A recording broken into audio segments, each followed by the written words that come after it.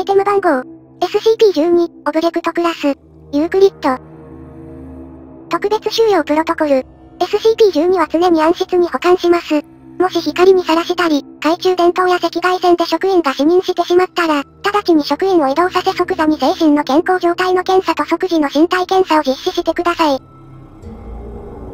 鋼鉄製の箱にしまい、床、壁、すべての入り口からに、5メートル、8フィート、以上離れた状態で天井から吊り下げます。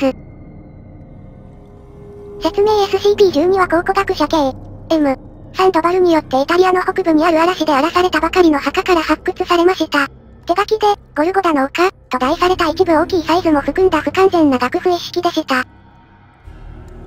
赤い、黒いインクははじめベリーか天然の染料かと考えられていましたが、後に複数人の血液であると判明しました。はじめに楽譜に接触した二人の職員、特別復旧班は気が触れ、自らの血で楽譜を完成させようとし、ついには大量の失血と内出血を負いました。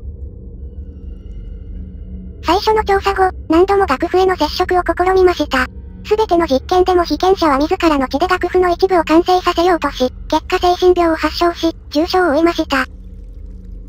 これらの被験者は一節を書き終えると、完成できない、と言いすぐに自殺しました。音楽を演奏してみると耳障りな不協和音と楽器に合わないメロディとハーモニーが流れるだけでした。